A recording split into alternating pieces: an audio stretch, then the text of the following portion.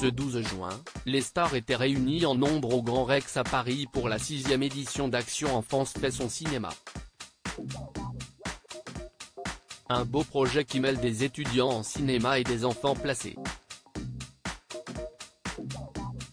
Une belle revanche pour ces enfants au parcours de vie difficile. Les fans ont l'habitude de voir les stars sur les plus beaux tapis rouges, au Festival de Cannes ou lors de grands défilés de la Fashion Week. Cette fois-ci, ces célébrités ont décidé de se mobiliser pour la bonne cause, la Fondation Action Enfance. Chaque année, l'association organise un grand événement pour mettre en relation des étudiants en cinéma et leurs enfants placés. 300 étudiants issus des quatre meilleures écoles françaises de cinéma, ESRA, ECAR, CLCF, 3IS, doivent créer le meilleur court-métrage, de son synopsis à sa réalisation, avec l'aide de 200 enfants et adolescents placés.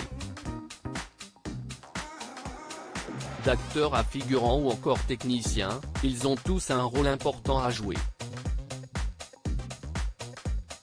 Cette année, 180 synopsis ont été reçus, mais seuls 15 ont été sélectionnés pour la grande soirée organisée au Grand Rex à Paris.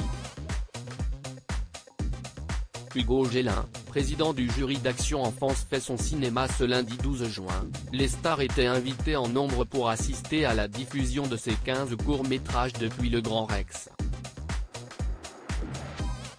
Louane, Fabienne Cara, Fovoto ou encore Romane Serda étaient présentes pour soutenir ses étudiants et ses enfants au lourd passé. Cette soirée avait aussi pour but de récompenser les meilleurs courts-métrages grâce au prix du jury, au prix du public et au prix coup de cœur, dont le palmarès 2023 n'a pas encore été dévoilé.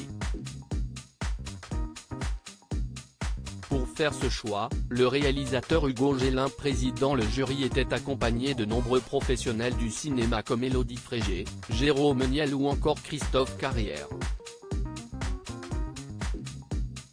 Laurent Fontaine animait cette soirée riche en émotions.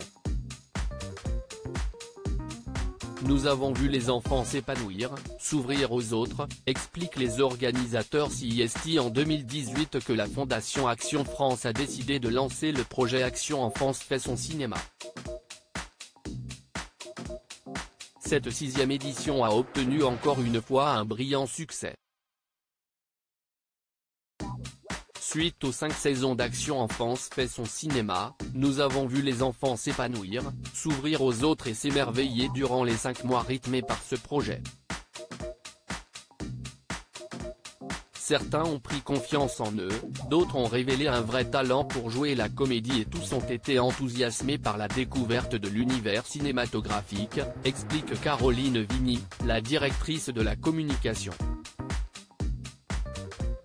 L'année dernière, le prix du jury a été remis à Sam Carnielli, Écart, pour son film Mystère et tube de colle, avec la participation du village d'enfants et d'adolescents de Sablon, Gironde.